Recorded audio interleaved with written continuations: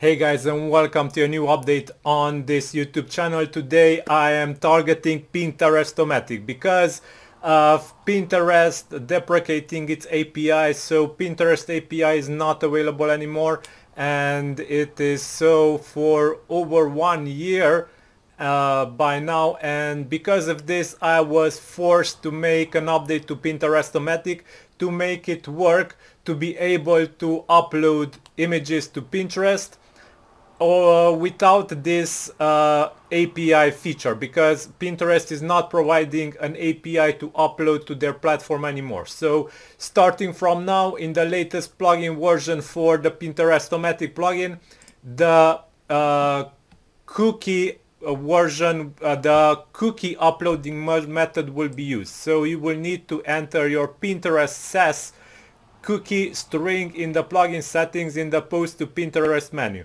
so you can get this uh, this cookie string if you go to Pinterest log into your account to which you wish to post hit F12 in Chrome go to the application tab. In the cookies menu here in the left go to the site you are on so Pinterest and you will see here listed the Pinterest sass cookie in this list. So search for Pinterest sass and copy the value of the cookie from here. So just double click it and when it is selected hit copy and afterwards paste it here. So you need to paste everything you copied and click save info. And as a result you will see that boards where to post pins will be updated and your boards will become available. You need to select a board where you need to, uh, where you wish to post the Pinterest pins. So let's select WordPress stuff for this case and click Save Settings. And now the WordPress stuff board is this. So let's click the WordPress stuff board and let's make a test post. So you will be able to do a test post if also if you enable the main switch of the posting to Pinterest from here and afterwards you will be able to create a new pin by creating a new post on your WordPress site and adding a featured image to it. So yeah, all you have to do now is create a new post and your Pinterest pin will be uh, available. Okay, so now let me show you a page where I have this plugin set up already. So this is a site and uh, it has some pages. This is where the plugin is already running and it is configured to post to WordPress stuff a board. So let me create a test post, add new.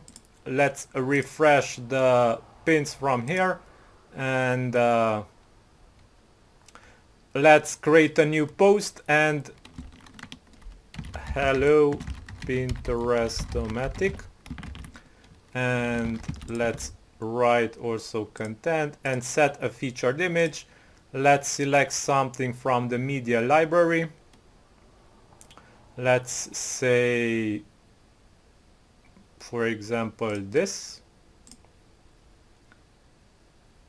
And all I have to do is hit publish here and the plugin will be able to post this pin to Pinterest. So I hit publish. We will have to wait a couple of seconds for the plugin to process this request.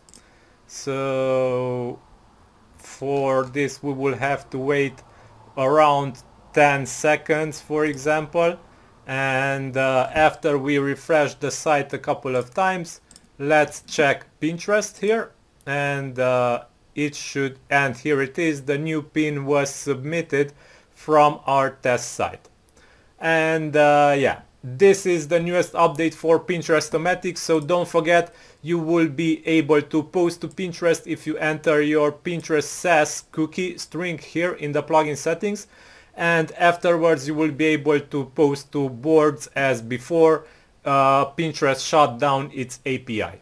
So yeah, thank you for watching until the end. Don't forget Pinterestomatic plugin linked in video description. Have a nice day. Bye bye.